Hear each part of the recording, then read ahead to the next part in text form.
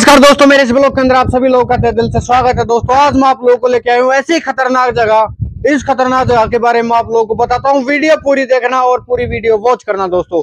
आज मैं आप लोगों को लेके आ चुका हूँ नटनी का बारा। ये है अलवर के अंदर दोस्तों, और नटनी का बारा एक ऐसा एरिया है, एक ऐसा इलाका है, बहुत ही खतरनाक वाला।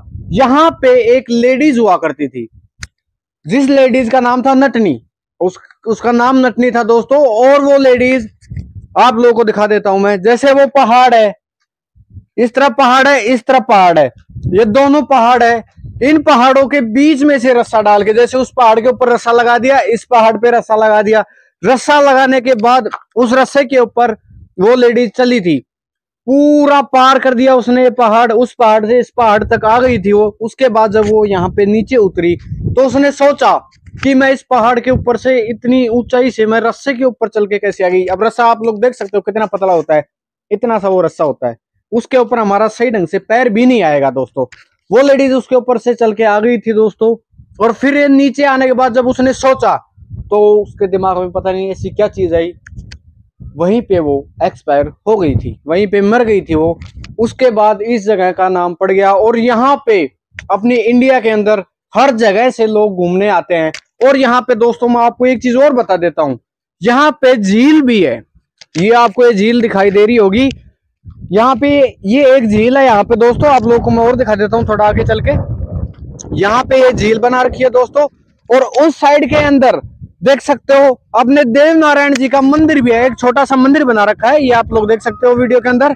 तो वहाँ पे एक मंदिर वगैरह भी है, आप लोगों को दिख रहा होगा वीडियो के अंदर।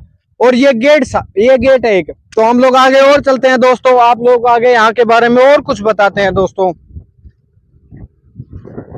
तो यहाँ पे आप लोग नज़ारा देख सकते हो। वो है, वो हाईवे है, जो अपना अलवर वाला हाईवे है, वो आप लोग देख सकते हो, उस तरफ़ वो हाईवे है दोस्तों। और ये हाईवे के ऊपर है, ये वो पहाड़ है दोस्तों, आप लोग को दिखाई दे रहा होगा वीडियो के अंदर।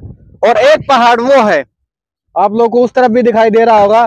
तो इसके अंदर कितना गैप है, आप लोग देख सकते हो खुद वीडियो के अंदर। और यहाँ पे ये झील जब भी आती है, काफ़ी मात्रा के अंदर आती है। जहाँ पे मैं खड़ा हूँ, यहाँ तक भी पानी आता है। उस तरफ़ आप देख सकते हो। 246 तक यहाँ पे पानी आता है दोस्तों। आप लोगों को दिख रहा होगा वीडियो के अंदर। 246 तक पानी आ जाता है यहाँ पे।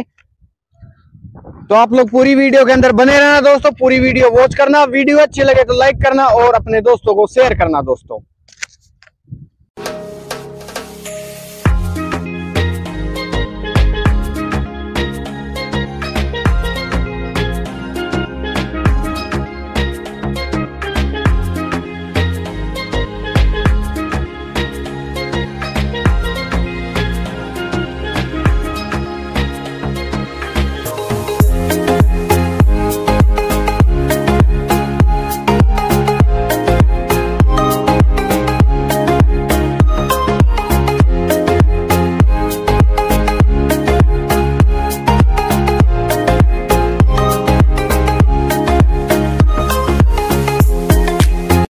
और दोस्तों, इस पानी के अंदर जो अपना सिंगाड़ा होता है, उसकी खेती भी होती है। यह आप लोग देख सकते हो वीडियो के अंदर, इस पानी के अंदर सिंगाड़े की खेती होती है और यहाँ पे बंदर भी मिल जाएँगे आप लोगों को और काफ़ी लोग यहाँ पे घूमने के लिए आते हैं बाहर से।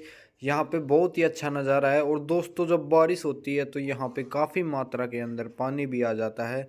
यह आप लोगों को वीडियो में देख के पता चल रहा होगा दोस्तों। तो दोस्तों, हम इस ब्लॉग को यहीं पेंट करते हैं। मिलते हैं आप लोगों को नेक्स्ट वीडियो के अंदर। वीडियो अच्छी लगे तो लाइक करना कमेंट करना और शेयर करना दोस्तों। धन्यवाद।